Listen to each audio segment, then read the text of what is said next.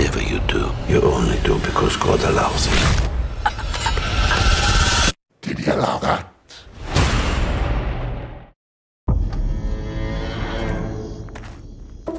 Father Gabriele Amort. On the night of June 4th, you performed an exorcism. That was not an exorcism.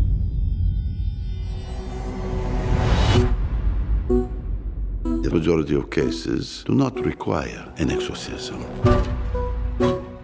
98% are recommended by him to doctors and psychiatrists. The other 2%, I call it evil. We have more questions for you, Father Amort. You have a problem with me? You talk to my boss, the Pope. There is a case that needs your attention.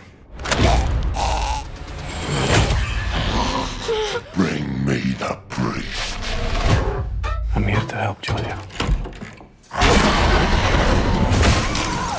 Wrong priest! Take caution. There are secrets buried there.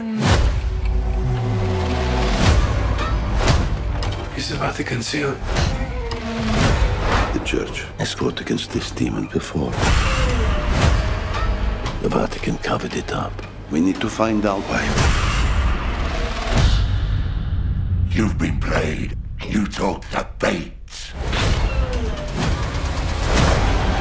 Whatever you do, you only do because God allows it.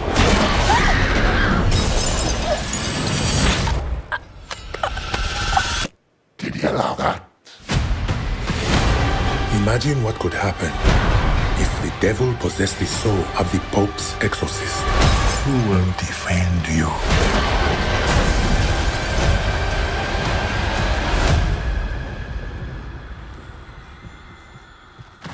My faith does not require defense.